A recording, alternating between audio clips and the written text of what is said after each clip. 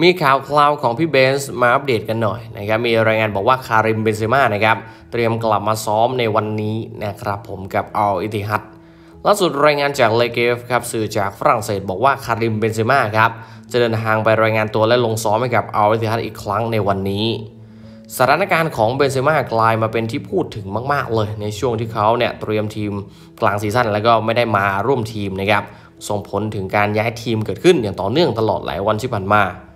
ล่าสุดรายงานจากเลเกฟครับลงข่าวว่ากองหน้าวัย 36 ปีอย่างพี่เบนส์นะครับจะกลับมารายงานตัวและลงซ้อมให้กับอัลติฮัดอีกครั้งในวันศุกร์หลังจากมีการสอบถามไปยังแหล่งข่าวใกล้ชิดของเบนเซม่ามาแล้วเบนเซม่าครับพักร้อนเป็นระยะเวลา 3 สัปดาห์นะครับสอาทิตย์และท่ามกลางสถานการณ์ในแง่ลบทั้งกรณีถูกวิจารณ์เรื่องผลงานการเล่น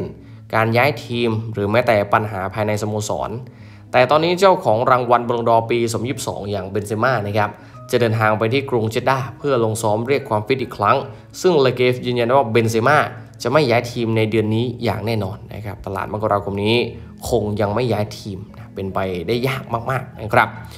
ตัวจบสกอร์ชาวฝรั่งเศสอย่างเบนเซม่านะครับลงสนามให้กับอัลอิตติฮัดทั้งหมด 20 เกมจากทุกรายการไปแล้วทำได้ 12 ประตูกับ 5 assist นะครับ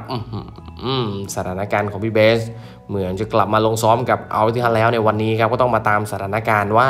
จะเป็นยังไงนะครับ โอ้โหสุดยอดจริงๆนะครับสำหรับเบนเซม่าช่วงนี้มีข่าวลือหนาหูมากๆ ครับว่าเออสโมสรจากพรีเมียร์ลีกอาจจะยืมตัวเข้าไปเป็น